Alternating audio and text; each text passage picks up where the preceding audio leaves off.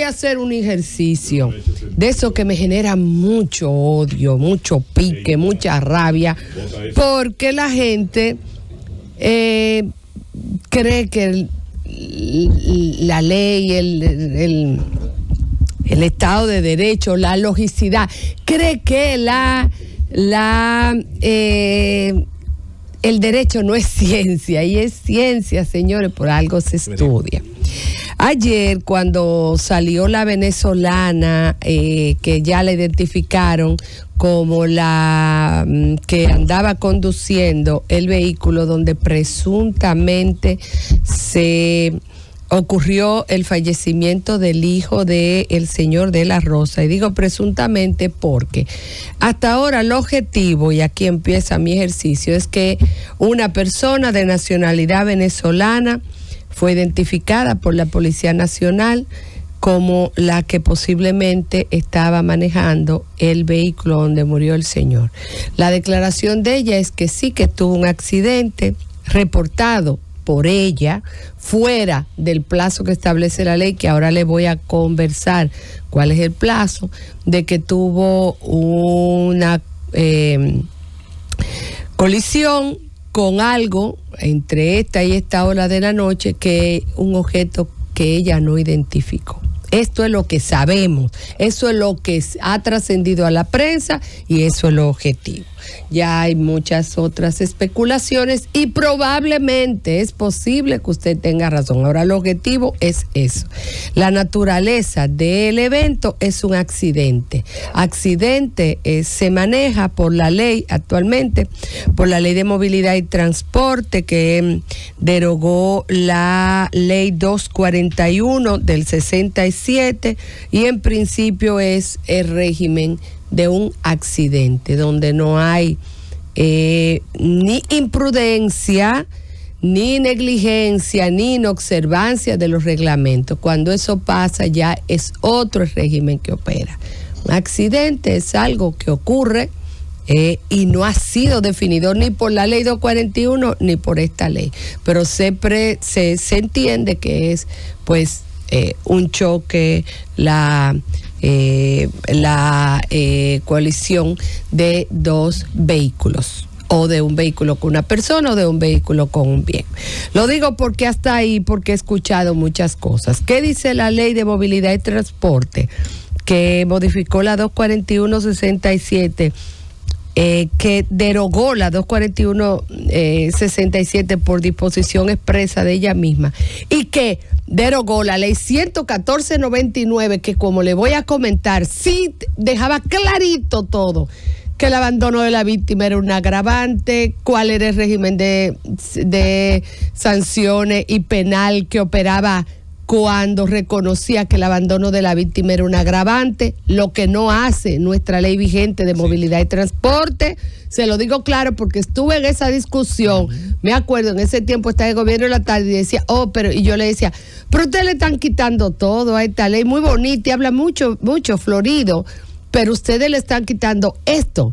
Si ustedes buscan la ley 114.99 que modificó la 241, decía clarito que era un agravante el abandono de la víctima. La ley actual no dice eso, ni siquiera obliga al involucrado en el accidente a asistir la víctima. Cuando te habla de asistencia a víctima dice que si usted está conduciendo un vehículo y tuviese conocimiento o viera un accidente, usted debe de pararse a auxiliar a la víctima si le es posible y darle el auxilio si le es posible. Habla de que usted esté conduciendo y haya tenido conocimiento de un accidente. No dice si usted ha sido involucrado en un accidente. No lo dice de manera taxativa como lo decía el 11499. Inclusive dice, a cuando habla de la asistencia, que la pone así abierta, dice, si su seguridad no estuviese, o sea, siempre y cuando su seguridad, y lo entendemos, ¿eh?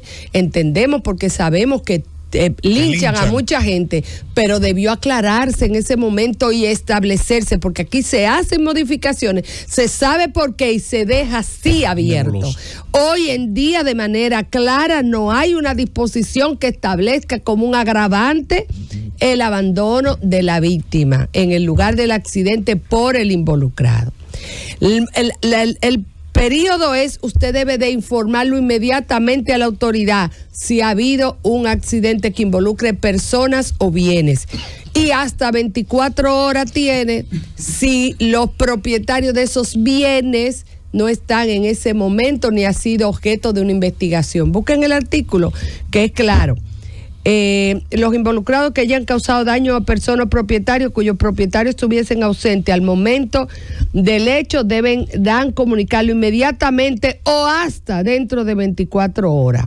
Serán sancionados conforme a las disposiciones del Código Penal Dominicano y multa de un salario mínimo cuando no se haya hecho la declaración en tiempo. ¿Qué dice? Sancionado conforme a la disposición del Código Penal, pero no te dice qué, disposición. Nosotros entendemos que entonces ahí se iría por golpes y heridas y muertes que se producen por negligencia, por imprudencia, porque es unos golpes y heridas y muerte que están establecidos en el Código Penal. Ya ahí si hay una imprudencia, una negligencia, pero habría que, probarlo. Y habría que probar que el abandono de la víctima fue el que produjo la muerte, porque esa es otra. ya hay gente diciendo, no, porque si ella se para, él se, eso no es, no, es, no es así. No es así, no podemos de manera eh, asegurar, no, si ella se para, él, él se muere. Él no se muere. No, eso no sabemos. No sabemos. Inclusive, oigan bien, ¿dónde le voy a llevar tan lejos para que más me cojan tirria?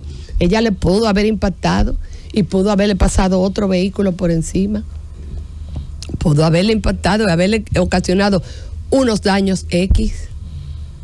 Se puede ahora demostrar, pudiera demostrarse si aparecen las imágenes que se debió a una imprudencia de él, que es también una, una exención de toda responsabilidad civil, no hablo de penal, cuando el accidente se produjera por causa atribuible exclusivamente a la víctima, ¿cómo? Que una víctima se te tire en el medio de la calle. No, el accidente, ahí tu responsabilidad civil no está involucrada. Entonces, todo eso hay que ver lo que aparece. En principio es un accidente. Tenemos poco tiempo. Yo, voy a hablar en el, en el turno. Sí, en principio es un accidente y en principio tenemos una declaración de ella y en ausencia de otras, muy bien muy bien asesorada por su abogado después de que ya ella hizo lo que hizo. Eh, le dijo, bueno, da una declaración, tú tuviste una coalición. Eh, y pudo ser también cierto. Pudo ser cierto. Ella pudo haber separado y el cuerpo haber eh, quedado muy lejos de ahí, estar oscuro, pudo mil cosas, señores. Lo que le digo, usted puede mm, pensar lo que usted quiera, ahora usted no lo puede afirmar. Hasta que no se investigue. Hasta tenga evidencia suficiente. Porque eso es lo que, lo que va. Porque he escuchado mucha gente ya dando varias versiones del hecho. Bye.